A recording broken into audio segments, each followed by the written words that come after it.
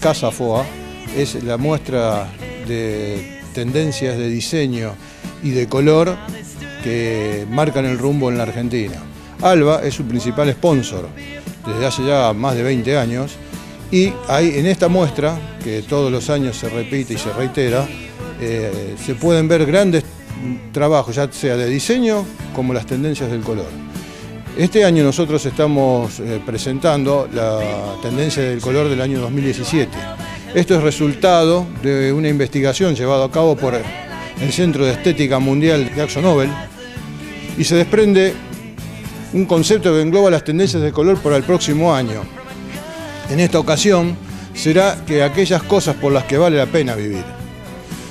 Aquel color que está presente en los temas que logra armonizar el resto de los tonos que componen cada una de las paletas que serán las tendencias que marcarán el rumbo en el color en el 2017.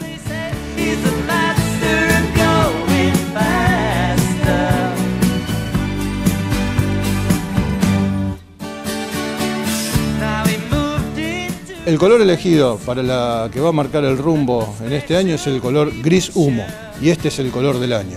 Se trata de un gris atemporal y versátil que toma distintas características dependiendo de la luz, la combinación de los colores y la situación, pudiendo transformarse.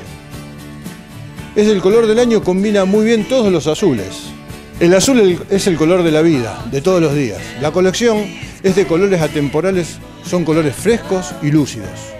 El gris humo puede ser un color para todos los días. Es un color clásico, pero también el del futuro versátil y creativo. Un tono suave y reposado que combina fácilmente y que se presenta naturalmente en todas las tendencias del 2017. Casa FOA abrió el 28 de octubre y va a estar abierta hasta el 4 de diciembre de este año. Se realiza en el Palacio Cabrera, que está en la calle Cabrera al 5600.